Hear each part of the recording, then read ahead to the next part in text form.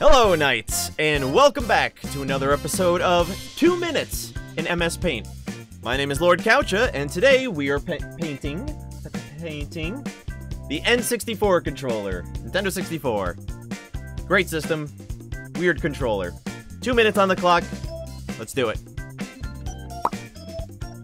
Alright, this is gonna be a funky design, I know it. Um, one where I might... Ew.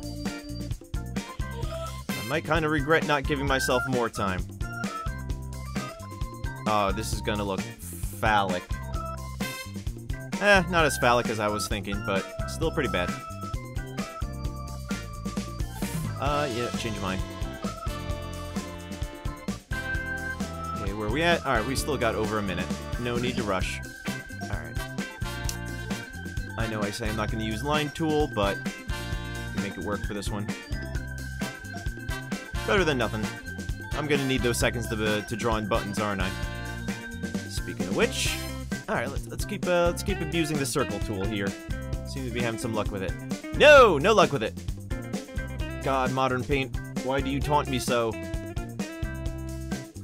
little over 30 seconds. Yeah, the, the angle that the controller is tilted at makes it kind of tough to get the angles, proportions right. If I had a little more time to line it up, it'd be, it'd be different. But, uh... Tight time constrictions. Also working in MS Paint. Easier said than done. Just making sure I got the right size. Alright, time. There we go. Can't get... I mean, a little, a little wide on this handle here, but honestly, not getting much better than that. Oops, hold on. Jump the gun a little bit. Uh, there we go. There we go. I, I, I left myself that extra second. It's, it's fine. I'm not breaking any rules. So yeah, here's uh, probably my most special looking drawing yet. but it's the N64 controller. I mean, it's already a, a very special looking shape. So yeah. I'll be posting this on Twitter if uh if anyone wants this. I, I am not uh I won't feel offended if you don't want it. But thank you for watching all the same. Don't forget to like and subscribe down below and uh, type a comment. That that always helps the algorithm. I'm not gonna pressure you into doing it. Like and subscribe is, is enough to me.